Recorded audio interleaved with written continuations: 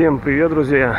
А, Сегодня мы с вами поедем забирать огромный пылесос а, весом 10 килограмм и повезем его а, с новых черемушек на станцию аэропорт.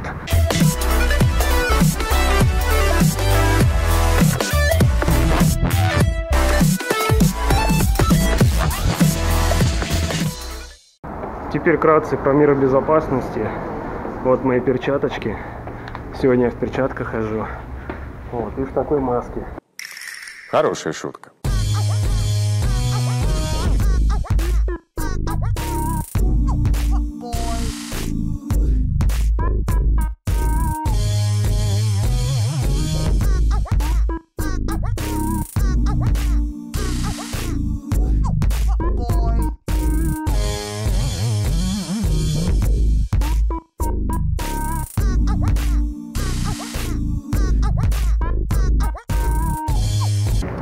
Метро Севастопольская. Я тут реально давно не был. Последний раз был, когда еще работал в Додо Пицце. В общем, тут какой-то капец. Все перекрыли, все. Тут нет больше прохода.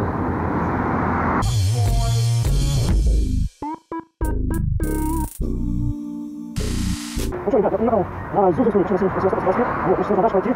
Адрес у нас будет Зюзинская 3. Так на ни хера не слышно, да, придется повторить. Приехал я на Севастопольский, вот, а дальше пешком надо дойти до будет до Зюзинской 3. Там позвонить по номеру телефона. Блин, реально дышать тяжело в этой херне, ужас, блин. Какая погода классная, я в этой херне. Она не теплая, но она как плащевка, она реально ядреная. О, боже мой! Да всем насрать! Алло, здравствуйте, Кирилл, это курьерская доставка. Почему вы заранее не позвонили? Заранее не позвонили, заранее не позвонили.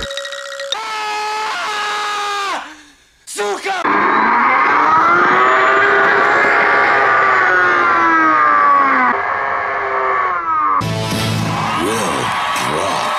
Ой, еще к нему шланг. Это шланг у меня в рюкзаке. Слава богу, ничего больше у меня к нему нету. Вот. А еще приятно то, что это не 10 килограмм, как написано. Чувак просто продал, продал пылесос за 1000 рублей и решил использовать курьера, чтобы тот привез покупателю. Здрасте.